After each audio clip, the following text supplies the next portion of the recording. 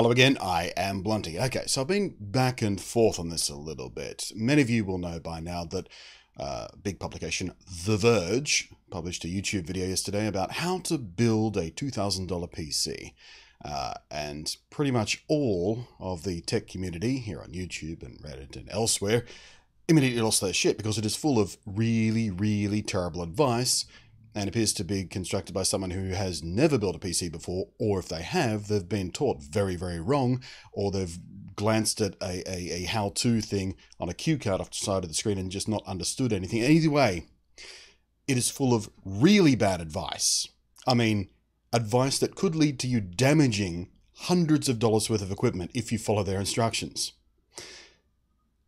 And, you know, I made a few Twitter posts yesterday about it. A couple of them mocking them mercilessly and comparing them to the uh, PC that I built live on stream yesterday as this video of theirs was being published. And at least one tweet that was kind of tongue in cheek, trying not to mock them too harshly, but suggesting they watch my own how to video, which I published about this time last year, which is much more useful and full of much more useful advice and more detailed advice about how and why and you know, to do this thing and just demystifying the PC building process for newbies uh, in a really good way. I'm really proud of that video. So I did my thing on Twitter and I went to bed and I got up this morning and the video is still there. They've turned off ratings and they've turned off comments, so anyone coming to that video, if they are a complete newbie looking for advice from a trusted big brand uh, source, and uh, if they watch this video, there's no comments down below to tell them how much of it is terrible, terrible, terrible advice they should not follow because they may destroy, damage, or otherwise uh, uh hinder the PC they're trying to build. And the video is still up. So when I noticed that this morning, my first instinct was to do a complete friggin' teardown of them. And the YouTube algorithms are still pushing the hell out of that video. I keep seeing it everywhere. And there's, there's dozens of reaction videos to them of people just watching the video and going, oh, that's a bad idea, ha ha. Reaction videos are worthless content, by the way. So what I'm going to do is sort of go through all the crappiest stuff they did, the terrible advice they did, and offer my advice about why that is terrible advice and why people are mocking them. And like the guy on camera, whatever his friggin' name was, I saw a Twitter post of his and he claimed that all of the silly little mistakes in the video were due to the scheduling. You know, he didn't have long to film it and they weren't allowed to do reshoots, but guess what? None of that, reshooting wouldn't have fixed the bad advice he's giving. That's him, not the production. That's him not knowing what the he's doing. And, and him trying to make excuses for it, saying, oh, yeah, no, we fixed that after we shot it. We weren't, we weren't allowed to do reshoots. No. If you know it's wrong and you left the video up there, you are not only irresponsible, but culpable for anyone who follows your instructions and damages their shit. And it makes me furious. It's, it's, it's unconscionable they haven't taken responsibility for their horrible advice. But I'm getting sidetracked. So, first piece of bad advice is he actually recommends using a pocket knife, a Swiss Army knife specifically, as a screwdriver. He doesn't recommend going and getting a regular screwdriver. Maybe he didn't have one to hand, the shooting schedule was very tight, didn't have the right tools, couldn't go get one, fine. But to actually recommend people that they use a Swiss Army knife, he said they use a Swiss Army, that's idiotic. Wrong tool for the wrong job. If you're trying to put a computer together with a Swiss Army knife, the extra bulk of that lopsided handle, and everything's going to make your life a lot more difficult trying to get the screws into some of those tight to reach places, like some of the top screws on the motherboard, for example. Bad advice. Not dangerous advice, but stupid advice. Another really bad piece of advice, not dangerous, not going to harm anything, but really stupid advice, was the little plastic protector that's over the socket on the motherboard. He just threw that away. You might need that you really do need to hang on to that if your motherboard is faulty.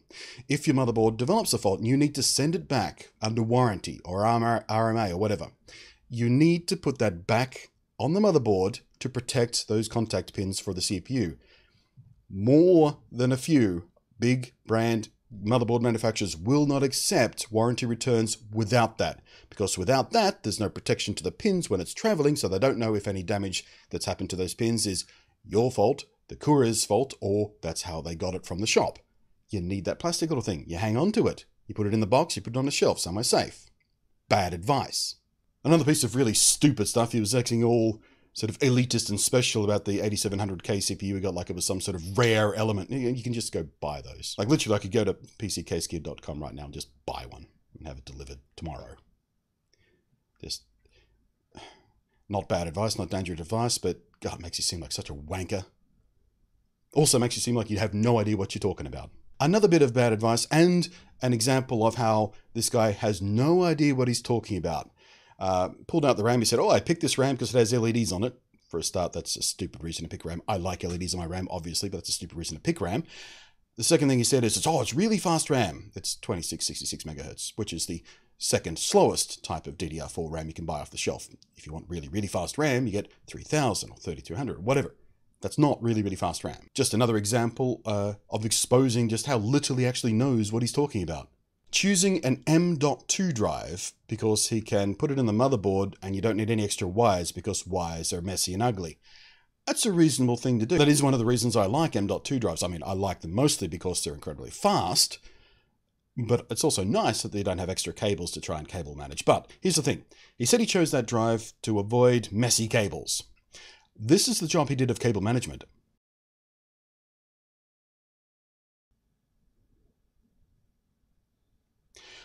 I don't care if his excuse is, oh, rust production schedule. No, that's bad build technique.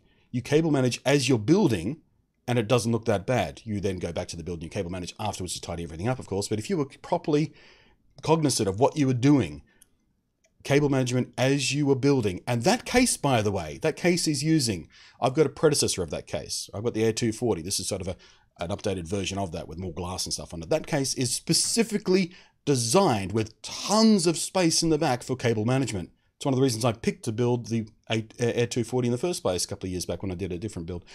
It has so much cable management space. There is no excuse for not cable managing as you're building. I don't care how rushed you are, it doesn't take long to do. Just another example demonstrating that this guy has no friggin' idea what he's doing. But to pile that cable mess on top of his excuse for oh, it's got no got no cables on the M.2 drive, that's why I chose it. That's ridiculous, laughable. Now we get to the actual dangerous stuff, the incredibly bad advice goes to install the PSU. There's a couple little rubber pads on the bottom of the case he's using. He claims those rubber pads are there to stop the, place, uh, the PlayStation, the power supply unit from shorting out on the chassis of the case. Ridiculous. That case around your PSU is not live. Look, not getting shocked, not getting shocked. Woo! Those pads, those little rubber pads in the case are for vibration dampening. Power supplies have fans in them. Fans sometimes cause vibrations to go through the case, which can make them feel louder than they actually are if they hit sort of a resonance or something like that. Those pads are just to dampen that vibration from the PSU fan. They're not there to prevent the uh, PSU external box to shorting out. Not only that, immediately after saying that, as he's installing the PSU, the case makes contact with the power supply anyway on the back where he screws it into the case, making a nice metal mechanical connection. Apparently that doesn't short it out, but the sides will. Again, no idea what he's talking about. Incredibly bad advice. Dangerous advice to tell people that because if they get a case that doesn't have those little rubber pads, as most cases don't, by the way, they're going to freak out. And they're going to start sort of jamming I don't know, bits of paper in there or something, which is a fire hazard, just to make sure it doesn't short out on the case. You never know what newbie's going to do with bad advice. The other thing he did with the PSU is he installed it backwards. Uh, power supplies have a fan on one side. Cases are usually designed to accommodate that fan, as indeed the case he was using is. He installed it backwards, so the fan was sitting up against nothing, basically. It had no way to draw any decent amount of air into the power supply to keep it cool incredibly dangerous advice. It will make the PSU run far hotter than it should, and perhaps, under the most extreme circumstances, be a fire hazard. Installing the radiator for the all in one liquid cooler. He takes the long screws, which are designed to go through the fan, because fans are quite thick, and into the radiator. He put those as the case mounting fans, screwing all the way through the radiator what he risked doing there was not only damaging the cooling fins responsible for helping that radiator actually be cool, but he could have punctured the radiator and caused a leak. It is incredibly bad advice to do that. Seems like he got away with it. Lucky. But anyone else following that advice could potentially destroy their $100, $200 all in one uh, water cooler and whatever else it leaks on. Another example of very bad advice, dangerous advice, advice that could damage your system permanently, is his application of thermal paste. He went on to say that you know, all-in-one coolers like the one he was using often come with thermal paste pre-applied to the to the contact plate. His advice was that's never enough. Wrong. It is exactly the right amount. That's why they put it on there, so they get it right and you don't have to worry about it. But he goes and puts more thermal paste, a different thermal paste. So he's mixing two different kinds of thermal paste, which is never a good idea in the first place because of the physics involved there. But smushing them two together, creating air bubbles, puts way, way, way, way, way too much on the CPU, even even if the play, even even if what the, the heatsink was putting on didn't already have pre-applied stuff. What he applied to the CPU alone was like four times as much as you needed. Incredibly stupid and dangerous. So two kinds of thermal paste, way, way, way too much thermal paste. That thermal contact is going to be incredibly inefficient that CPU is going to run far hotter than it should, which could lead to thermal throttling, which could lead to incredibly shitty performance because the CPU winds itself down, makes itself slower so it doesn't overheat and damage itself. So you're getting worse performance because you put way, way, way too much thermal paste on.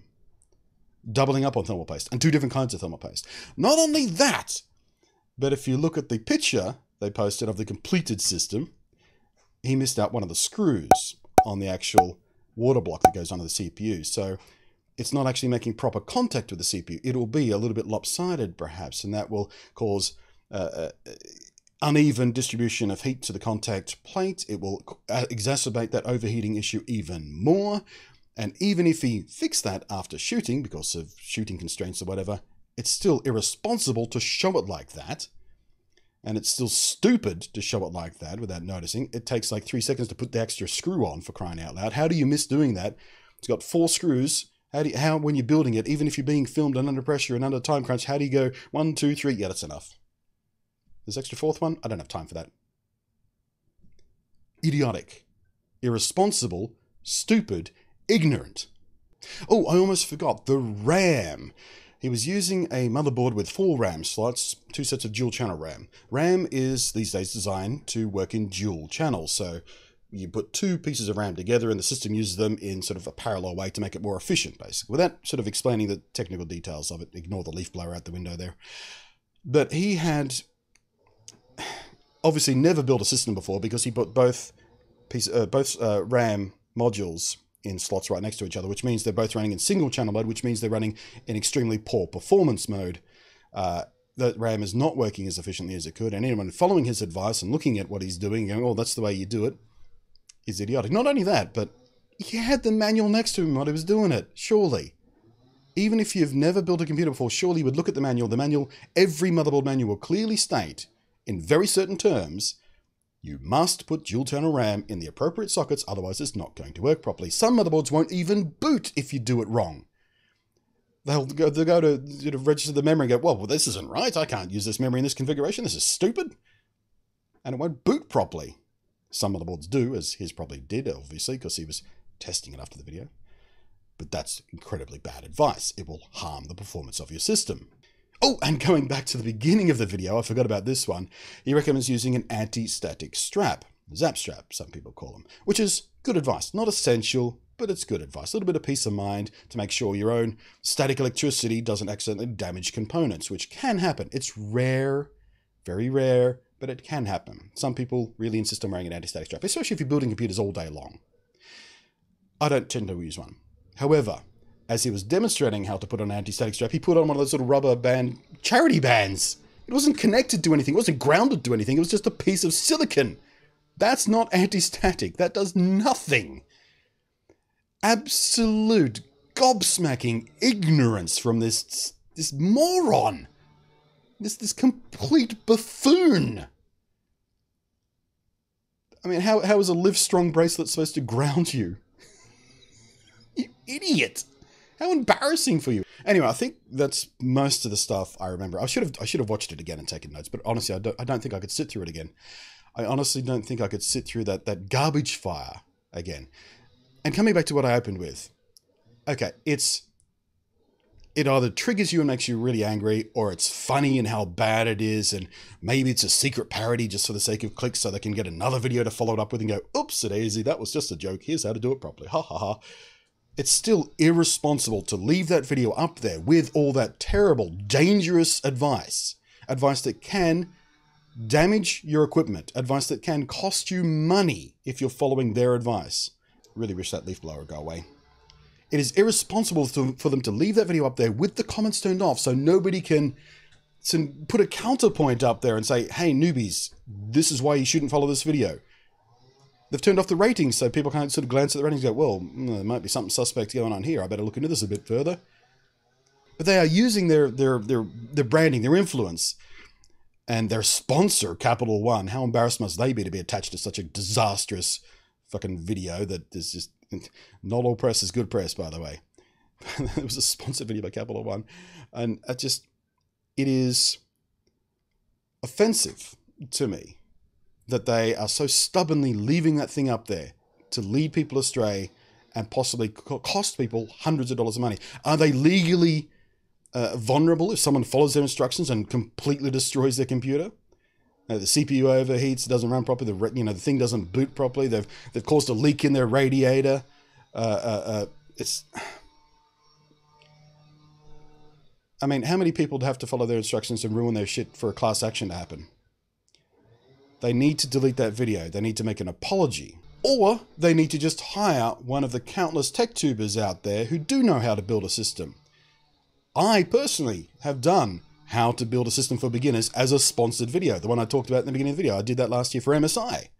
I've done live builds repeatedly on, on Twitch and stuff like that. And yesterday I double streamed to Twitch and YouTube doing a live build of a PC right there. It, it looks great. Here's my cable management compared to theirs, by the way. This only took me two hours to build and you know simultaneously stream and film and everything. I've I've done uh, another thing for MSI when when me and uh, Panda went to uh, Taiwan and we did a build together. We we you know recorded that in about an hour as we built the PC together. She was a uh, well not a complete noob. She'd built a computer many years before, but she'd forgotten most of the useful stuff. So I was sort of leading both of us through the build process there, and it's it's not difficult to make a beginner friendly video about PC building. It's not difficult just to get shit right. And it's not difficult just to do what The Verge did and feed out incredibly bad advice and really stubbornly stick to it and refuse to admit fault and just throw up excuses and hide any uh, uh, counterpoints and, and, and, and good advice from other people watching their videos so they can protect newbies out there from the incredibly stupid and bad advice. The Verge is dangerous, irresponsible, stupid, ignorant, uh, and they've just ruined their reputation, basically. No one who knows anything about tech should ever read or watch anything they ever do again because they've just demonstrated they are willing to put out misinformation and stand by it, and they don't care so long as it gets clicks. It is vile. But now I've said my piece, I've talked over the leaf blower. I have to go out this morning, so I'm in a rush, so I don't have time to re record this to get rid of the leaf blower noise.